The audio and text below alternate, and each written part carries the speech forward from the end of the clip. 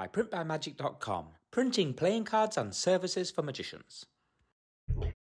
Hi guys, James Anthony here from magicworld.co.uk and today I am super excited, mega excited. Why? Because I'm reviewing Leviosa by Julio Montoro and uh, Miranda. So uh, very excited to be reviewing this product. Uh, this is one that has been an absolute sellout. Uh, that being said, I've got some on the shelf. I'm one of the few magic shops in the UK that still has some of these available. Maybe not when you watch this video in a year's time, but right now they are. Uh, red versions as well. But let's get into the product itself. I'm going to show you in this review me doing a live performance, a little clip here as well. I'm going to show you the trailer, I'm going to show you the price and go through any niggles or any little things that uh, may help you along the way as well. So, first of all, the product is Leviosa by Julio Montoro, and um, this was a hit of a product to be shown at Blackpool. I think is when it first debuted, and uh, since then it just got released last week and has been a phenomenon. It's been around all the social media and it's gone crazy. 161 pounds. So it's not uh, something you just throw a bit of cash at. It is something that I think you would buy if you take magic seriously. Maybe you're a professional performer uh, or you just want something really, really cool to wow people with. But generally, I think this is targeted at slightly more the professional market, uh, people who are getting paid to do magic. Either way, when I saw it, I had to have one myself, of course. So this is mine right here. Now, I'm going to say something straight up front. Uh, he says, this is uh, João Miranda, that when you get it out the box, it's ready to perform. Of course, don't touch it until you've read all of the instructions. Now, I did exactly what it sold. I looked at the card, I watched the instructions on how to perform it out of the box, how to turn it off and on, and how to make sure it doesn't get tangled, that kind of thing. When I was sure, okay, I probably didn't watch as many videos as I should, but I watched the main one of what you do to make sure you don't break the thread. And uh, then I did it, and touch wood, zero problems from the very beginning. It just worked out of the box. I was a bit scared pushing the button for the first time because it's all pre-programmed. Uh, but as I said, if I follow, if you follow the instructions exactly as it comes, uh, it just worked beautifully. So let's have a little look at the trailer. And then we're going to look at me performing it, and uh, then we'll talk about some of the other finer parts. So here we go. This is the trailer. Oh, look at it levitating up right there. Let's put it on full screen. Um, is, yeah, Julio Montoro, Julio, it's Julio's trick. First, no, it's both both Julio's trick. But Julio, I think, uh, was the creator of this originally. You know, the idea of it floating to the hand, and just look at this. So it just moves on its own. It's my favorite effect, the haunted deck, or one of my favorite effects. So to have it just float up to your hand like that is amazing. And then you wait a few moments, and then finally the deck just flies up to your hand. I mean, it's a miracle. It's an absolute miracle. So that's the box. You can even show some of the cards as well. 100% self contained. I agree with all of that. Um, yeah, goes in the box. It's ready to perform again. Instant reset. Yes, it is instant reset. I'm just saying you can perform this immediately after it's been performed and go on to perform it at the next table and the next table and so on and so on. So there we go. I think that's enough for the trailer for now. Uh, it kind of tells you everything about this product. It's a haunted deck, is where the deck moves, their card shoots out, and as a final kicker, uh, their card now the whole deck just rises up to your hand casually. Then the deck is put into the box, put in your pocket. No, it cannot be examined. So don't expect that. Now, to perform this as you would as a worker, so you're doing weddings, corporate events, you'd have to add a few cards on top so that you can physically shuffle the cards. Being careful not to go too deep. You just add six or seven cards on top, shuffle them, and before you're ready to about to perform the trick, after they've selected the card, just palm those cards off as you go in your pocket for a pen. That's what João does. So pretty easy to do. Uh, let's have a look now at me doing a little pre-record. The voice might be a little bit less in volume, uh, but who cares? Who cares? There we go. Just a small test to show this product. Here is the card. It goes in here like this and goes over. Now I'm ready. I push the button and it's red telling me that it's ready to go on the floor. We're going to cut it about here. Now we wait. We just wait, that's it. When we're ready, and only on our command, do we do this.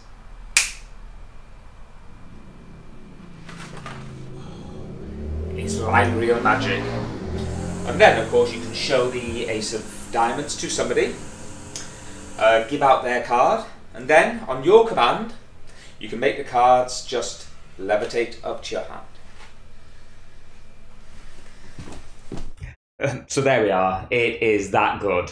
And um, yeah, it's, it's a tough one. I don't want to say too much on a review of, of the systems in place, of course. I hope I didn't say it just then. Uh, it's one of those things that um, I have to ask the question if it levitates back up to your hand at the end, does it kind of give a bit away as to how the first part worked? That's the only logical thinking I sometimes think says. Uh, obviously, you know, some spectators might go to the idea that uh, thread, whatever may be used in this project, um, or at the end of your trick. And if you're doing haunted deck, maybe they don't. But then when it rises to the hand, do they then, does that help them believe that that's how the first part of the trick worked? So that's my only constructive thought on it.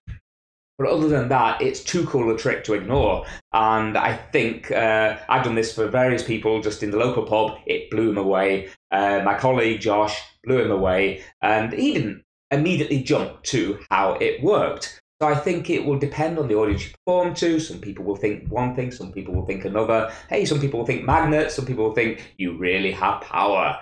And that's what it's about. It's just, it's a fun trick and it takes the haunted deck to another level. Now, one important part is I perform the haunted deck, I've been doing it my whole life with a spider pen by Yigal Mesika. One of my favourite ways of doing it because I can be stood up a long way from the cards and I can make the cards move. So I can move it in and out. That's exactly what you can do with this. On top of that, uh, this has the movement. So the only downside is that you can't have like a slow movement first and then shoo, then it jumps out.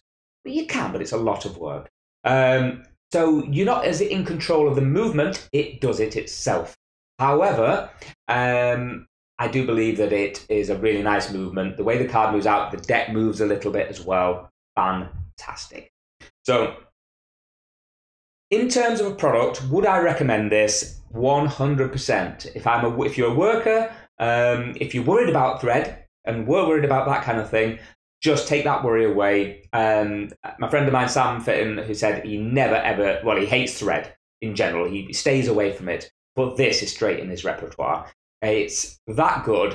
Um, there are a few areas where I think, as as a working pro, it could have gone into a little bit more detail into how to perform this. For instance, I don't think I saw very much on the tutorial videos of how to add cards on top and how to palm them away but also how to deal with the audience and that kind of thing. So I wish that I'd seen a little bit more in the tutorial from Julio Montoro himself, because he's the guy that's been performing this at a million places. So there's no one better than him to teach you all the little handling techniques. Um, for instance, I think Sam mentioned this one to me, but uh, I mean, I found myself naturally to kind of do this. It's it's to get yourself ready for this you're you have a reason. You've got to show the card, but you also have to get prepared. So I'm prepared now in the idea of just showing the card for the trick. But instead of just going down flat, kind of come down at an angle. If you come down at an angle, sorry, I'm not showing it on the thing, come down at an angle, it scoops much easier. If you do it flat, it doesn't get in very well. So little things like that, if they were shared by Julio, uh, then I think it would have just enhanced the product a little bit more. Hey, while I'm set up, I might as well perform the trick very quickly here as well. So I love the fact that now I know when I can put the cards down. So I put the cards down, brilliant. And I can just cut the cards like this. Now, it is a waiting game. You don't know exactly when it's going to happen. You kind of time it in your head. I know that with energy, I can just kind of make it look like I know exactly when it's happening. So that part I'm not worried about. You can show the card and you can relax at this point.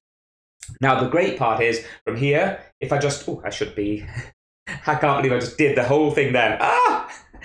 with the wrong camera. I'm going to redo the whole thing again. I just did that all with the wrong camera. So, um, so I'm going to push the button like this. Boom.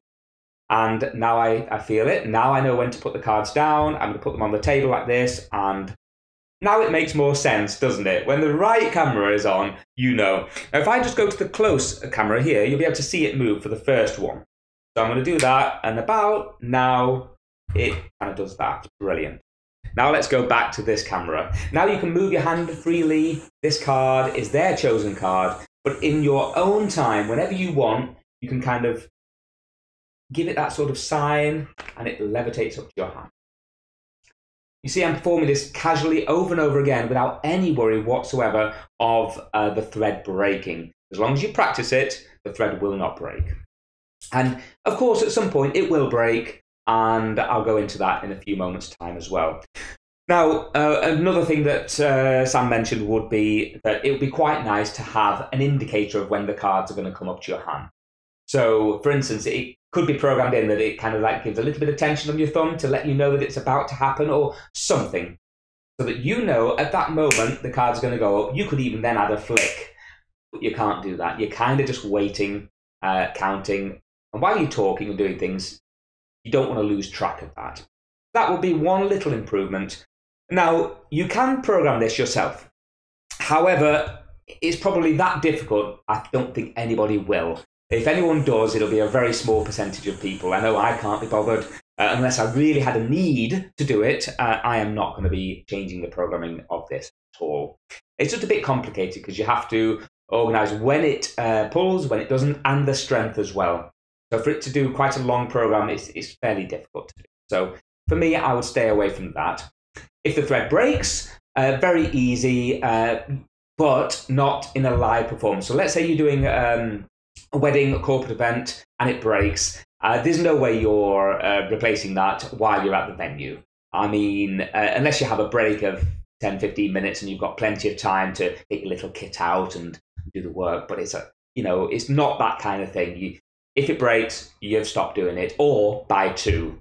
Uh, that that's my simple solution. Have another one ready to go if you're a pro. Uh, but yeah, the actual replacing of the thread will take anything between five and 10 minutes. Um, it's pretty easy to do.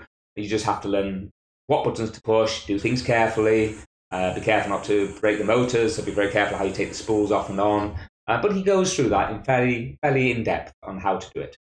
Um, so there's a lot of pros to this, very few cons. I can't really think of any cons. I mean, I love this. The if it was more cosmetic, the only little cons I would think of is again something Sam mentioned, but I also totally agree with this. Not that I don't with the other things, I totally agree with those as well, otherwise I wouldn't be saying them. Um, the actual face card, uh, you can see tape. Now, it's a very little thing, and in most cases, when you're performing, they're not people are not going to be gluing their eyes on the cards. However, it would have been nice to not use tape and have it glued on um, so that it just cosmetically it resembles a deck of cards as close as possible. And exactly the same for the plastic card, which is underneath. The plastic card again has tape going down it, so when you're cutting the cards, it kind of is more noticeable if someone were to really, really, really burn the deck. I mean, it's practically invisible. I don't think any spectator would ever see it. But I'm just saying, I think it could have been made in a way that might have taken more time, and that's probably why they didn't do it. Probably easier to do the tape method, find the magnet locations, and so on. And there is a lot of complexity in the build.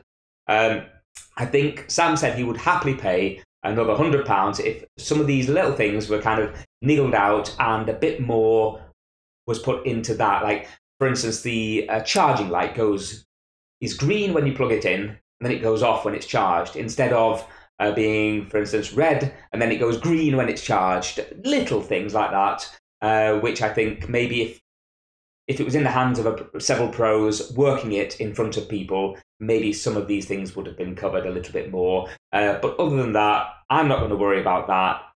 I just wish maybe cosmetically the thread wasn't uh, sorry, not the thread, the uh, the tape wasn't quite as as visible or as you know as much as it is there. But we're talking about little things here. They are the only things that would stop this being an absolute blowout 10 out of 10 because it is practically in fact i was torn between giving it a 10 out of 10 and giving it a 9.5 out of 10 just because of those little things just the the sellotape and the little details that i've mentioned is why I'm not quite giving it a 10, but Blimeneck, it's close to it. So let's give it a rating. I've got the rating right here 9.5 out of 10 for, oh my god, Paddle King. No, it's not Paddle King. I'm going to redo that over the top of it. It is not Paddle. I did this, I fixed it, I put it in. Wait a minute, so we've got the product. Leviosa by Julio Montoro, and then just kind of like put your hand now over the Paddle King section as I give the rating 9.5 out of 10 for Leviosa. 9.5 10 out of Leviosa. oh my goodness, you know what? I'm not going to edit it. It takes too much time, and these review shows take a long time. You know the picture.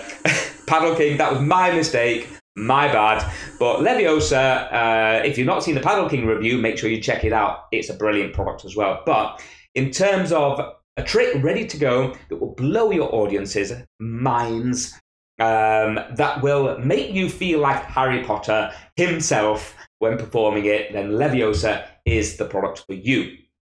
Just to very quickly show you now what you get inside it. I know I should have done this maybe before giving the rating of 9.5 out of 10, uh, but you get loads of things. Let's go nice and close. You get loads of thread. The thread will last you for, well, a long, long, long time.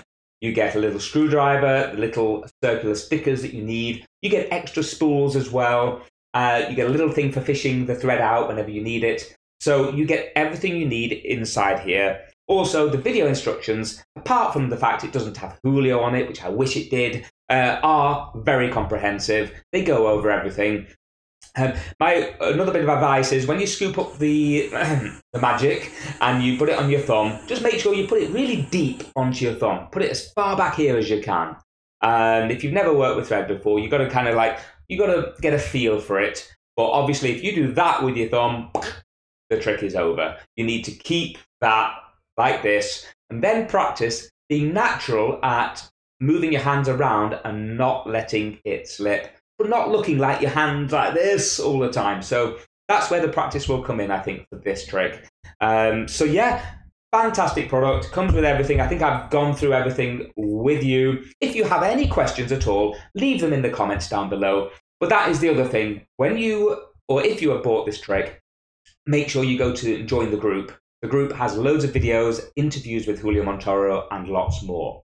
And finally, I'm just going to tell you that we do have five of these in stock as of right this second. We bought a ton of them. We've got red ones in stock, which are sold out worldwide. So if you want to get your hands on one of these right now, they are available literally for immediate shipping. Now, if you also leave a comment at the end of the video, uh, just put YouTube, uh, sorry, leave a comment on the purchase from our website in the link down below. Just put YouTube. We will give you, upgrade it to free special next day delivery in the UK. So free next day special delivery. Just pay for your regular delivery and we will pay the extra difference. So there we go. Thank you very much. Leave your comments down below. Let us know what you think. If you've got a video reply you want to show us your uh, uh, performance of Leviosa, please again put it down below. We would love to see it. From myself, James Anthony, have a fantastic day. Bye bye. Oh, and like and click subscribe. Don't forget, like, click subscribe, alert, and share.